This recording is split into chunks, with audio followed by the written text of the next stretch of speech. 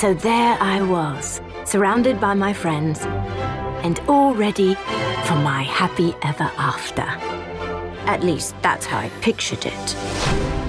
The reality was much more single.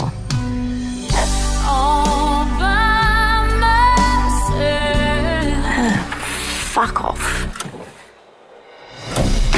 Still, not to dwell on the negatives, many positives to note.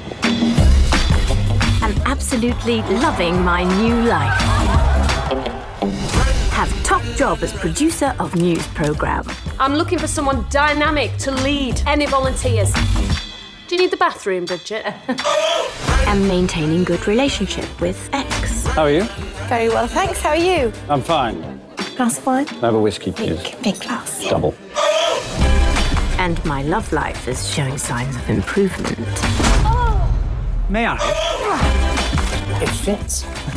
Aside from one tiny development, I'm pregnant.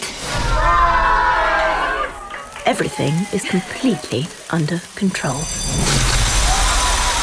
Sort of.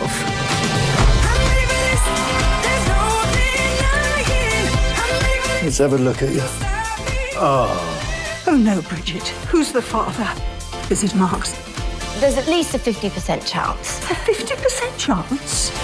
Did you have a three-way? So this is Dad, I presume. So glad you could be here. This is a unique and wonderful moment. Dr. Rawlings, I wonder if you could maybe do me a little favour. Hmm. So this is Dad, I presume. I'm so glad you could be here. This is a unique and marvellous moment.